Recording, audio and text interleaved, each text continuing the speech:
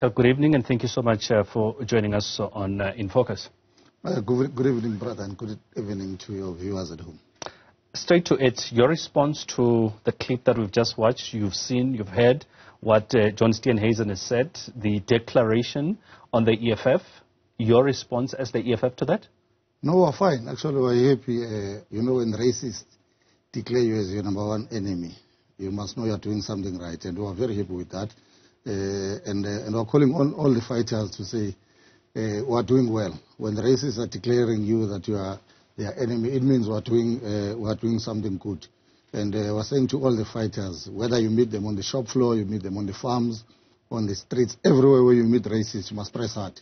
Mm. Because look like we're getting closer to, to make sure that uh, we, we, we, we, remove racism in this country. DA, it represents racists. It's who they are from their own uh, policies and everything. As we could see now, they went to a conference only to come out with no policy direction or anything except to uh, to fight the EFF, the only organization that stands firm against racism. So we're happy, let them bring it on. Uh, it means we're moving in the right direction. The commander-in-chief is leading us to the right direction because if they were happy with us, then we would know that uh, look like we're going to sell out uh, the people of South Africa like those that uh, are pretending to be leading this country on behalf of racists as they do, uh, as, as, they continue to do as they please in this country. Nothing has changed uh, since uh, apartheid. we thought after 1994 there's going to be changes, but the caretakers that are running this country, the racists, they continue to do as they please, kill our people in the farms, treat them in, in human ways, do whatever they do with no accountability.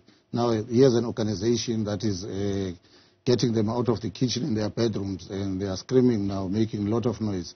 So on top of them, and we're going to press hard. Uh, we're not going to retreat here. So whatever DA uh, they decided there on that conference, uh, we, are, we, are, ready to take them head on. By the way, we're going to remove them as uh, official opposition as well, moving towards uh, the elections. We've already removed them in three uh, provinces, so that's why they are already making such noise. They, are, they, know that their future is, is done. The EFF is here and we're going to take over, but we're very happy with the racists declaring us as their enemy. Are, are, you not worried looking ahead to a possible coalition that uh, uh, you need to start looking into friendships uh, uh and, and, partnerships, bedmates that you'll go into should that happen? They've said uh, openly that no ways that they will go into a partnership with you guys.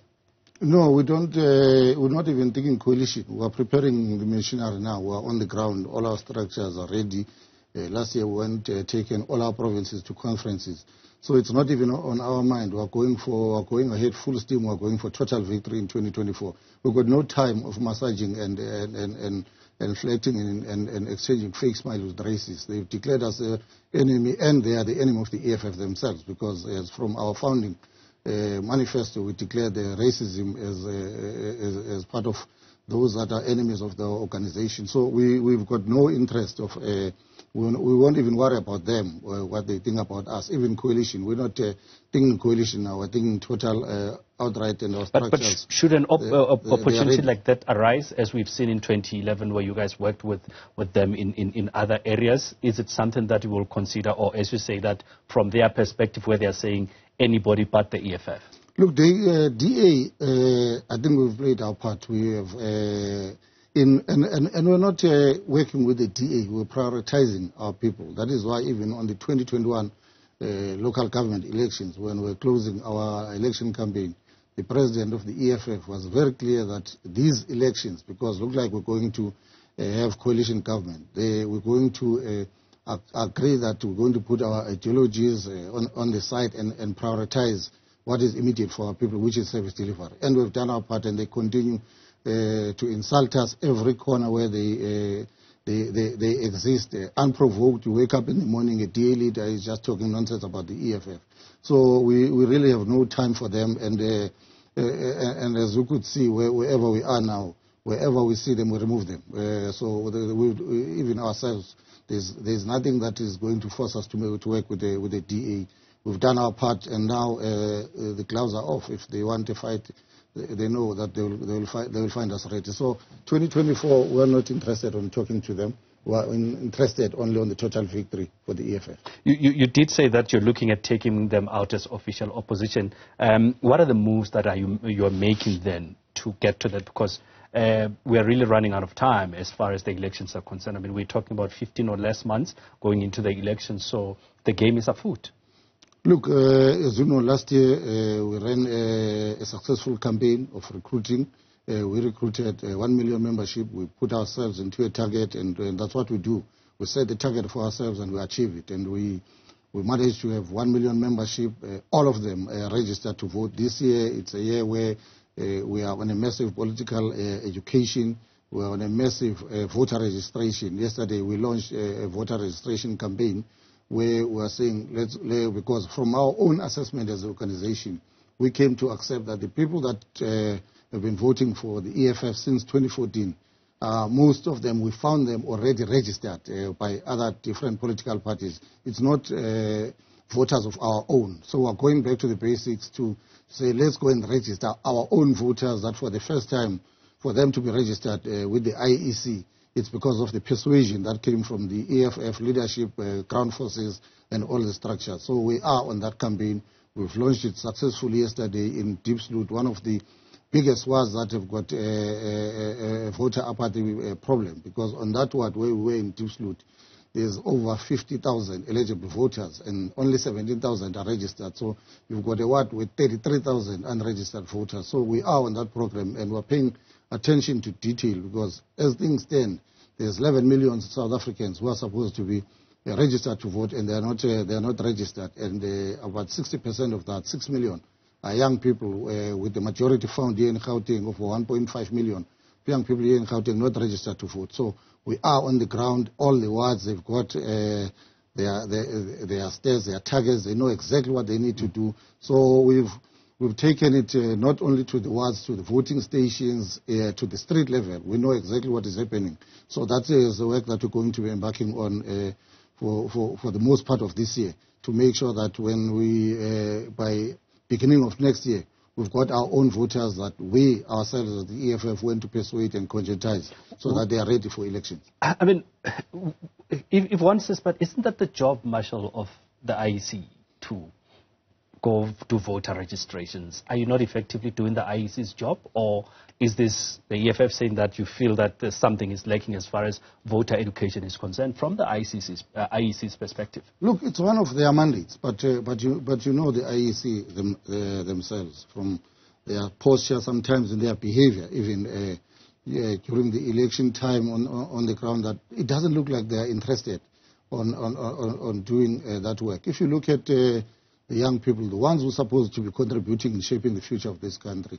The age is between uh, 17 and, uh, and 21. Stats South Africa is saying there's close to 3 million of those people uh, from Stats South Africa. But if you go to the IEC uh, voters roll, you only found about 100,000 of those people. You can see that the numbers, the IEC have lost interest. So we've taken upon to ourselves that we're the one who conducting elections let us go into that. The, the IEC, they, they don't do it. Every time it's either they tell you that they don't have funds, they don't have capacity, but it, do, it doesn't look like they've got interest. And our suspicion is that uh, because of uh, their proximity to, to, uh, to the ruling party and ruling party knowing that it's losing uh, voters, especially uh, young people. So uh, we don't think it's at the center even if they are planning that uh, uh, let's get uh, young people to go and register to vote because they have to contribute in, in, in shaping the future of this country. So, so, they've left they've left them neglected like that. From, from a political party's perspective, wh where do you think the problem is in terms of why why is there voter apathy from young people? I mean, from your vantage point as the EFF, uh, as you're saying that you will be targeting these people who have not really been interested in voting, and some could be uh, first-time voters who are 17, turning 18 next year, so they would only have that, that opportunity. But where do you think the, uh, the, the, voter apathy comes from? Look, there's, a, there's poor voter uh, education uh, programs in this, in, in, this country, but also uh, people of this country, they've been disappointed uh, now and again with empty promises, with corruption, with the, with the failure of, of, of the ruling party. So we have to go and, and, and dig deep and go back uh, to those people and conscientize them, speak to them, uh, tell them about the EFF, and, uh, and, and, and, make them realize that, uh, by the way, not voting, it's not a solution, because if they don't vote, those criminals with their numbers that have already been consolidated, and the racists with their numbers that have been consolidated, they're going to continue to run this country as it is. As you could see from the DA's posture and everyone else, they don't have a problem with the mismanagement of this country by the ANC. That's why they declare the EFF as the enemy. So uh, people, they can't give up on, on, onto themselves, but uh, to the future of their children, because not voting, uh, it means you've given up to the future of your own children, and you cannot do that. And, and, the, and the reality is that they have to vote and vote for an alternative government because the one that they've trusted, it has lied to them, it has betrayed them, it has stolen from them. There's nothing left of the ANC uh, uh, except that people of South Africa, they need to stand up for themselves and, and go and vote. And worse, uh, our black people. Because if you look at what has transpired in Tshwane, uh, Tshwane now is run by racists. It's a, it's a, it's a, it's, it, it, it's a collaboration of racist parties. Not because black people in Tshwane, they went to vote for Freedom Front Plus and DA and all of them. It's because they, they, they because of voter apathy. They did not go to, to the voting stations. And that's a danger of not voting because we are not helping the situation. When they did not go and vote in Tshwane, a white man is leading Tshwane now. So if they do that in 2024, a white man is going to lead this country. We're going to have a white minister of land, a white minister of minerals, the white president, and we can never allow uh, uh, uh, that situation. That is why, as the EFF, we're on the ground, paying attention to detail, going to our voters house to house, doing door to door, and, and making sure that they register to vote. That is why even yesterday, also it's uh, uh, keeping up with the times in terms of technology. Yesterday, when we launched our uh, the registration campaign. We even uh, launched our USSD number to make it easier for voters to register to vote because that has been another issue when we go to the ground. People say, yeah, but this thing, it, it, takes time. I must leave what I'm trying to do and go to a, voting station sometime or to the IEC and then you find that they are not there. So we've intro introduced an online uh, registration uh, portal for the EFF, which is star 134 star 20024 hash where you can uh, register to vote for EFF anywhere where you are. So you don't have to drive to any voting station or IEC office. You register in your comfort zone mm. with the EFF yeah. because we are the part of the future. So we're keeping up with the times. Marshall, we, we, we're fast running out of time. But, uh, uh, you know, as you say, from what I'm picking up, uh, you, you're talking to first-time voters, younger people in this instance. What would you say are some of those key issues that you're talking to them about, especially for young people. Because, I mean, an 18 year old who is voting for the first time next year will look at the world very different from uh, how I see them as a 48 year old man. Yeah, look, the, what, we are, what we are bringing to, to, uh, to the young people and the people of this country, it's a real alternative that will bring a change and, and a tangible change, not some artificial change to their lives. Uh, when talking to the issues of jobs, talking to the issues of land, young people, they want to participate. They don't want to be drawn into some uh, uh, social grant arrangements where they, they must be pushed. They, they want jobs. They want to participate. They want to start their own businesses. But if you don't have conducive uh, uh environment, uh, policies that, uh, that makes barriers to entry easier Uh, for them to be able to start their own businesses and participate in, in the economy and building their own futures, uh, it becomes a problem. And the EFF is bringing that alternative through our policies, uh, the expropriation of land without compensation, nationalize strategic assets of the country, make sure that there are jobs for everyone, make, make sure that everyone participates in this, uh, in, in, this economy, uh, demanding that uh, they must have access to free quality education, because that is another issue that with commercialized education, you find most of young people, as we see now, uh, that are some of them they, they've been pushed uh, to the side. The government can account for majority of those that pass matric this year uh, because there are, there are no systems, there's no enough uh, institutions of higher learning uh, where there is. There's a lot of money that they must be paid, and our people coming from a society with millions of our people unemployed. Uh, they, they end up being pushed out on participating in the economy. So it's all those things that we are. Are they hearing you? Are they hearing you, these young people? Are definitely, they, are they, hearing what the EFF is, is selling? Us. They're definitely hearing us because we are the only party since 2014 that keeps increasing our vote, and we are very patient because we want to make sure that our people, they understand the policies of the EFF, they take them to heart, and, and, and they are conscious enough. So we're not uh, rushing, we're not a popcorn organization that we want short-term gains. We're on the ground uh, conscientizing them. That is why this year we are running a full program of political education so that our people, they understand our policies because at the end of the day, they are the ones who must go and implement and defend them when we've taken over this country, and uh, that is going to happen in 2024. Just, just uh, at least how we started, uh, you know, I asked you response from uh, what John Steenhuisen has said, but the former Joburg Mayor, Dr. Mpho Phalatse, says she would not have declared the EFF uh, and political enemy number one if she had emerged victorious at the party's federal congress uh, this weekend. She says that she has a different view when it comes to working with other political parties. Let's take a listen to this. I've been very open about my ideology around these issues. Um, but we are a party at the end of the day. We're one political party, and even if there's internal differences, we've got to rally behind one vision.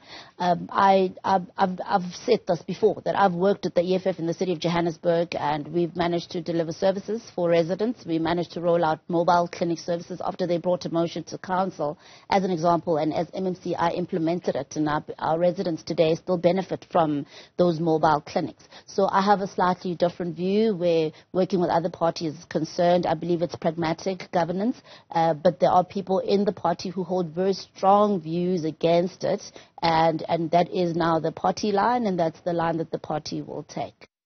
As we conclude, quick uh, response to that. Uh, look, uh, she's, a, she's a black person. They can try to, to pretend and fake as much as they want. All those blacks that are there in DA, it happened with Mmusi Maimane, Herman Mashaba, Lindiwe Mazibuko. Every day they can see that they are just consumed into a racist system where they thought they can assimilate and, be, and, and, and feel comfortable working with them. And every day they show them the middle finger that you don't belong here. So she's right. Her conscious mind is telling, and her heart is telling her that actually I made, the, I made the wrong place. She must just go to a ward wherever she comes from and take the EFF membership so she can sleep peacefully because as things stand now, uh, I'm sure the sees horrors of uh, the races that she works with and, uh, and, and, and, misled her to believe that uh, they are party for all, which is not the truth. And it's keeping and it's doing that is showing them uh, a middle finger every day, one by one, and uh, and uh, and they are leaving. I think uh, right. there's only one left in their leadership now, and I don't know how long he's going to stay there because they're going to remind him that you're a black person, you don't belong in this party. This is a party of white people, and the owners are in charge of that party now. Marshall, we're going to have to leave it there, but thank you so much for coming through to talk to us. I appreciate your time.